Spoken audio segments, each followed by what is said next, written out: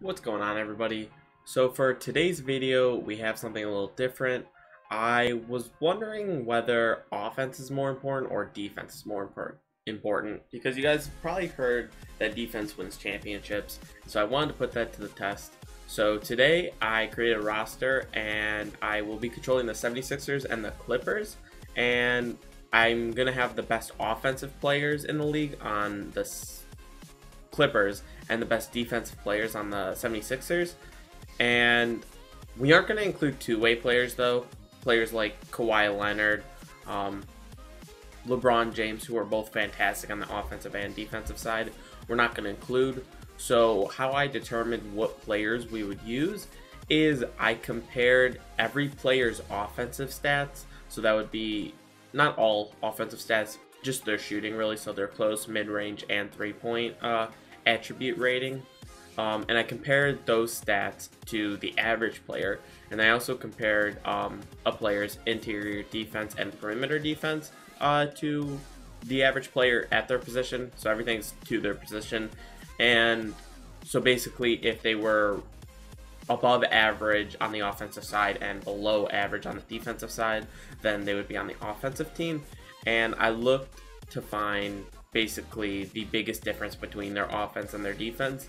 And so those players would be on each team, whether they were significantly better offensively or significantly better defensively. I gave each team eight players just because I didn't think the starting lineups were too fair. I thought the defensive starting lineup was significantly better than the offense. Not significantly better, but definitely better than the offensives starting lineup, so I did give them an extra three players each, and I think that really helped the uh, offensive team. I think it helped a lot. Um, but yeah, this took a this took a while to figure out which players um, compared. Um, again, I'm just using 2K's ratings um, because that's how they're going to be in the game. So 2K's kind of messed up sometimes. You know, they might not have um, a player who's great defensively have too many uh, great defensive stats.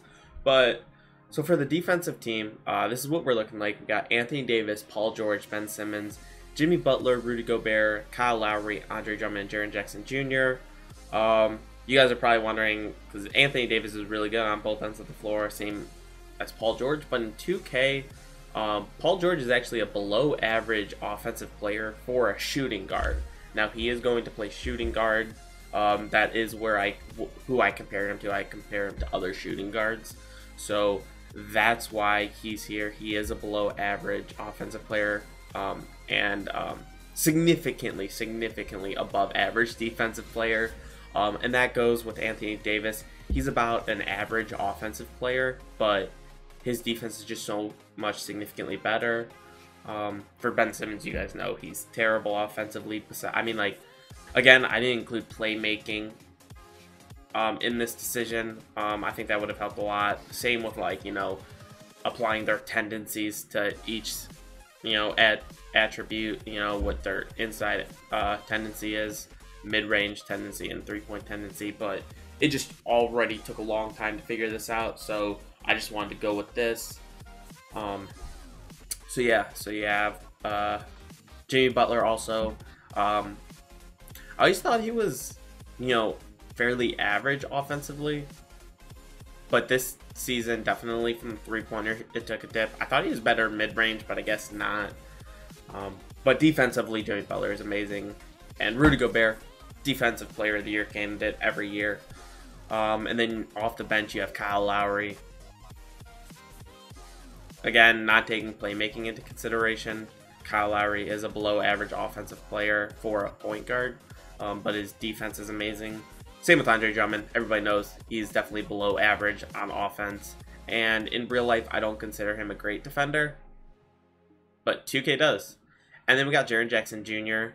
Um, I wanted to add three people off the bench. Um, and just looking at everybody, there wasn't really a shooting guard. Not many shooting guards are fantastic offensively and bad or fantastic defensively and bad offensively. Paul George was actually the only one whose um, defense was above average and offense was below average for this position. Um, other good defenders, you know, there's Klay Thompson, Jaylen Brown, but they are also really good offensively, so I couldn't include them. They were really good two-way players. Um, and in 2K, their offensive ratings are just too high to have included them in this. So I did Jaren Jackson Jr. I know he is fairly good offensively, but his defense is just so much significantly better to where he was basically the best um, eighth player for this team. So now for the offensive team, um, we have Steph Curry. Best offensive ratings out of probably anybody in the game. Uh, literally amazing. Um, and his defense isn't good. It just isn't. His perimeter D is actually okay, but it's not great. Then you have Jokic, fantastic offensive player. This didn't even include his playmaking, which is only a B plus actually. But he rates significantly high on the offensive side and terribly on the defensive side. Trae Young, I think he has like the second or third best offensive ratings for a point guard, and he has the worst defensive rating, I'm pretty sure, for a point guard.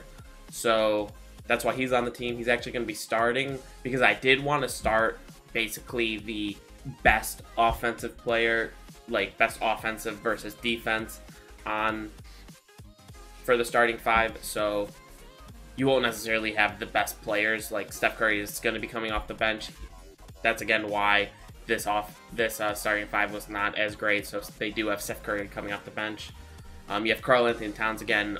Um, personally, shooting wise, the best. I think the best center in the league. He's just fantastic everywhere. He can he can he can pull up from anywhere. Defensively, he's bad. I mean, like he's just he's just kind of skinny and you know get, can get bullied really easily. So it's it's mainly his body that prevents him from being a great defender. Um, then you have John Collins, um, again, great young player, fantastic offensively, not fantastic defensively. C.J. McCollum, um, yeah, his offense, he, he's one of the best offensive shooting guards in the league. Um, 2K rating wise, I mean, yes, he is fantastic in real life too, but I think he definitely is significantly better offensively in 2K than he is in real life. And defensively, he was the maybe the I think the I think he was the worst uh, defensive shooting guard. And again, I only took the top ten players uh, for each position just because I wanted to make this as fair as possible. Uh, then for small forward, you have Tobias Harris. Again, he's a fantastic shooter. He's a fantastic shooter. He, he can pull up from anywhere too. Uh, but defensively, he's a liability. Uh, then you have Domantas Sabonis. Same thing. Um, offensively, his mid-range is amazing um, but his defense is terrible. And I believe, yeah, that was the last player. So you're gonna, I'll, sh I'll show you guys the uh, starting lineups uh, in Coach Game Plan. I have to make them real fast, actually. Steph Curry, you're coming off the bench. I don't care how many minutes they have. I do, obviously, I want Trae to get a lot of minutes, but this is, um, no, John Collins is not starting. Sabonis is starting, but, um, so this is what this starting lineup's looking like. I'm to give Sabonis a little bit more minutes. I'm not to give anybody else um, off the bench minutes. So this was kind of an issue with um, backup positions. I don't exactly know how that's going to work. We don't have a backup small forward or shooting guard, but Steph Curry can rotate in um, with Trae and McCollum. I think Trae has to stay at point guard, but I think Steph Curry can definitely play back uh, shooting guard too. That's a secondary position. And then CJ McCollum, shooting guard, point guard. Tobias Harris, Sabon. I mean, I mean the other team has the same issue too. So we'll see what's up. But they need two more minutes, and I'm gonna give one to Tobias and one to Trae. So this is what the starting line is gonna look like. This these were basically the lowest um, or they were the highest rated um, players when you basically take their offense versus their defense. Their offense was just rated so high and their defense was rated so low. Now for the 76ers, Kyle Lowry is not starting. That will be Ben Simmons. Uh, obviously, his offense is terrible. Paul George, again, his offense is slightly under um, under average, but his defense is just amazing. So he he was just the only shooting guard that could fit this position. Jimmy Butler, you know, uh, I think his offensive game has fallen off a little bit um, this year, especially. Uh, then you have Anthony Davis. It's kind of hard to put him there, but his net score was just so good for the defensive team that I had to put him there. Um, I actually, I'm surprised 2K has him as a below average offensive player for his position. Um, I mean, maybe it is because he's at the power forward and not the center. For center, he, I'm pretty sure he would be above average. But for power forward, he's below average. Then you have Rudy Gobert, defensively, you know what's up. Um, Jaren Jackson Jr., you're going to get some minutes. Jerebko, you're not getting minutes. And Udoh, you're not getting minutes. As for the starting lineup, I'm fine playing Butler and Paul George a bunch of minutes. Ben Simmons, I want a bunch of minutes. Rudy Gobert, you're fine because Andre Drummond off the bench is amazing. But to the bench again, you have Kyle Lowry. Without taking play making consideration, Kyle Lowry's fantastic um, defensively and below average offensively. Andre Drummond, everybody knows what he's about. Um, rebounds, that's basically all he's going to give you. Uh, nothing really else. Maybe a little effort on the defensive side, but besides rebounds, I don't consider him an above average defender, but 2K does. And then Jaren Jackson Jr. Yeah, uh, the spacing for this team is going to be terrible. It's going to be absolutely atrocious, but um, that's kind of what's up for the Clippers. I want to run eight man, and then honestly, we're gonna shoot it will offensive tempo. We're gonna shoot it will neutral offensive. Get to the basket. Shoot. Get shooters open. You know. That's what that team's all about. For 76ers, let's figure out this game plan. What does it have down here? Anything? System proficiency preference. Yeah, we're just gonna keep it like that. Neutral. I feel like neutral offensively and average tempo. Or should I go patient offense? I'm just gonna go no preference. As for defensive focus, we're gonna limit. Yeah, I guess neutral, but then play physical defense.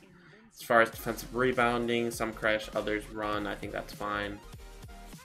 I think both teams are set up really well. Proficiency defense, of course, this team is as good as it's gonna be. Uh, you have the best defensive players in the league on this team. Uh, for this one, system proficiency, three-star grit and grind. Wow. Okay, balanced is the best. Sabonis struggles, but we're gonna change Doc Rivers. We're gonna change the coach here to a very offensive-minded Michael Stauffer. Honestly, I'm gonna do Michael Stauffer. Definitely, probably the best. We're gonna have to change the coach game plan back up again. Players are fine though. Um, bench step back down to eight. Uh, get shooters open and shoot at will. That's definitely what I want to do. System proficiency, three star pace and space, three or three and a half star. Sorry. Um, I think that's fine. Yeah. Eh. I mean, I'm gonna do balanced. I'm gonna go back to balanced because Tobias Harris doesn't necessarily thrive in pace and space, but because not everybody's just like it's not all about three pointers, but I definitely want to try that out. Actually, just make a fantastic three point shooting team and see how much they can thrive. But those are the teams. That's what it's looking like. I am going to be on the 76ers, and we're going to look for the Clippers game because I do. That's basically the point of this. I don't really care how they do against other teams because I feel like they're going to be amazing against other teams. But what I do want to do is find a Clippers game. See if they even play them. Okay, so they play them right there. So we're to simulate through date there. And we're to, and I'll be back once we get to them. All right, so we are about to be at the game. Um, defensive team 52 and 2, fantastic. Do you know the only two losses are to the Brooklyn Nets? Both times they versed, or not both times, I guess they did verse them more. Uh, but they lost to the Nets twice. And then the offensive team is 43 and 11. Huh. Wow. That is surprising. Um,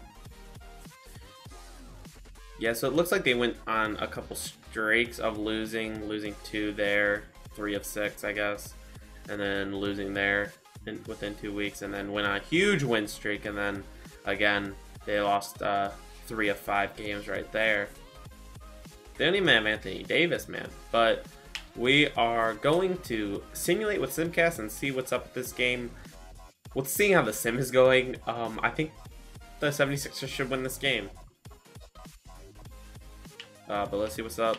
76ers. Big lead in the first. Not big lead. Um, Clippers came back in the second. It's a very close game. Nope, not anymore. 76ers taking in fourth.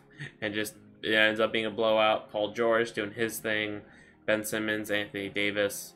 So, yeah, offensively, um, this team is great considering they have Paul George and Anthony Davis still. Um, offensively, yeah, like offensively, this team's going to do great, but defensively, they're going to struggle.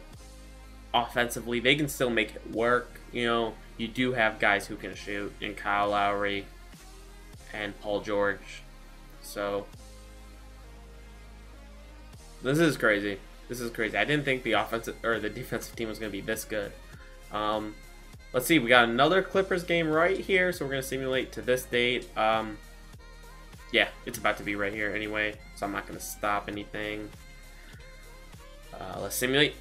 Simcast. No, I do not care. Uh, simulate game. Let's see what's up. Clippers are home this time.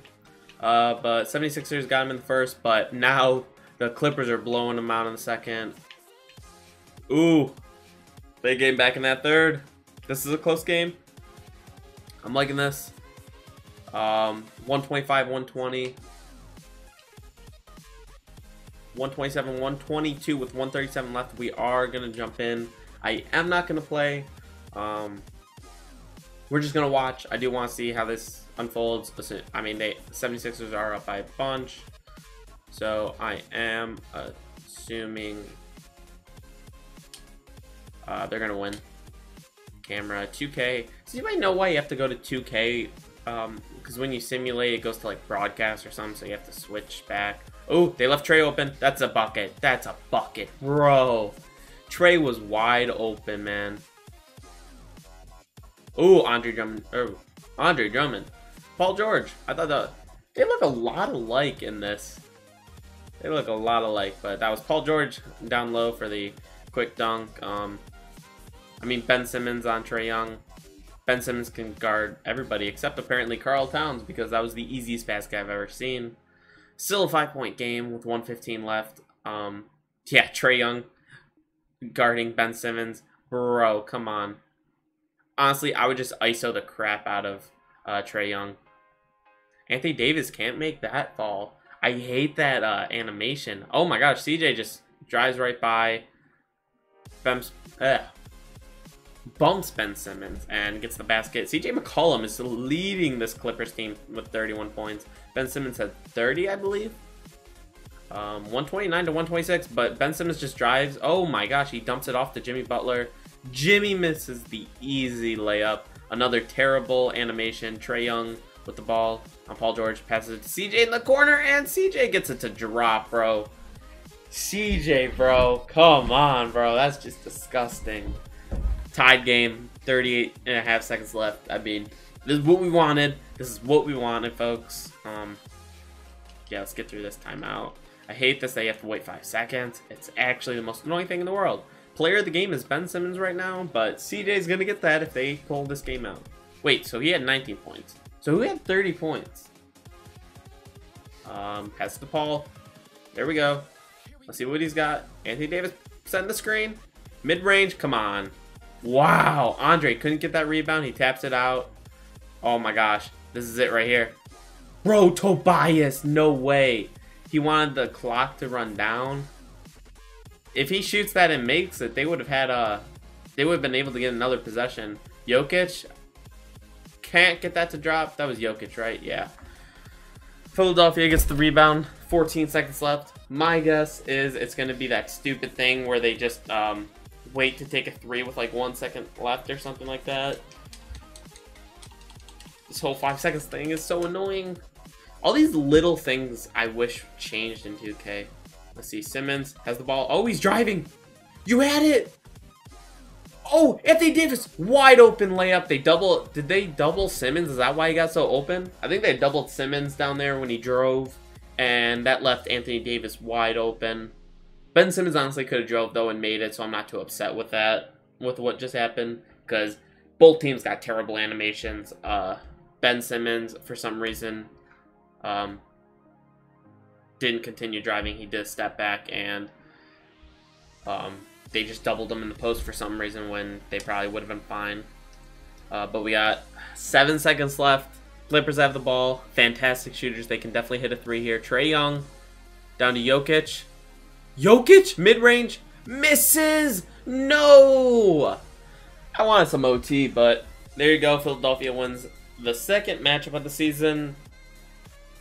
That's probably gonna be it, right? I feel like that's gonna be it. I don't think they're gonna have another matchup but we'll definitely see.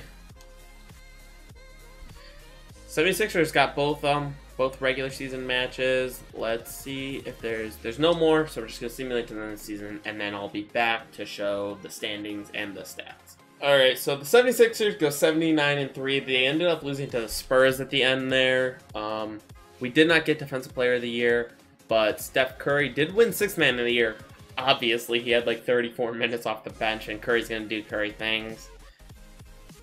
Kind of sucks that you have to play him off the bench, but that's just how this kind this challenge is.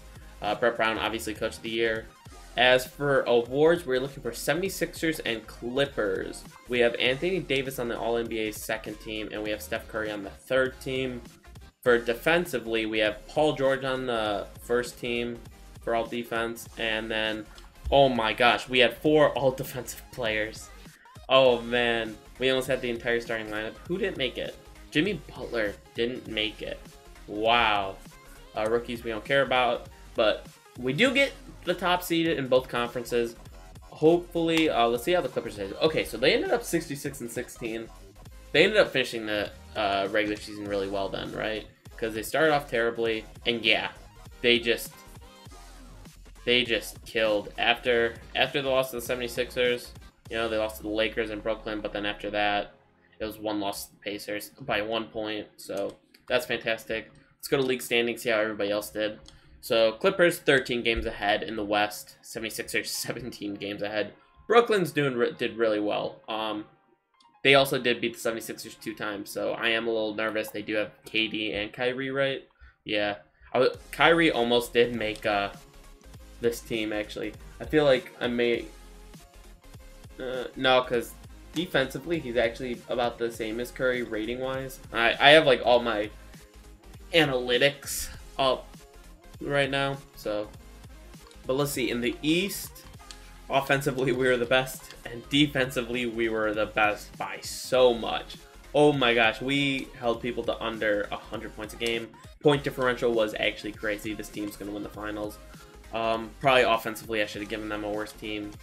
Uh, but the Clippers, offensively, were better by only 0.2 points. Defensively, they were also one of the better teams in the league. I would consider that actually really good. Um, point differential wise, they did get 14.2. So that's really good. Let's go to player stats. Uh, this is the Clippers. We got Curry, Curry leading them off the bench with 26 points. That's funny. And 9 assists. I'm, I'm assuming CJ didn't get his main minutes, but I will look at minutes per games just to see how much CJ got. Uh, Trae Young putting up 23 and a half and 7 assists. CJ 17 and a half and 5 assists. He actually did a lot better at playmaking than I thought he'd do. Especially since Jokic is also a good playmaker and he had 7 assists. Oh, he's 16 points, but Karl-Anthony Towns off the bench did great. Shooting wise, this team was nuts. The amount of people who shot 50% and 40% from three is actually crazy. These guys shooting is amazing. They had Steph Curry 54 and 90. Minutes per games I do want to see. Trae Young got the most. Steph Curry got the next most. And then CJ McCollum got the third most. Okay.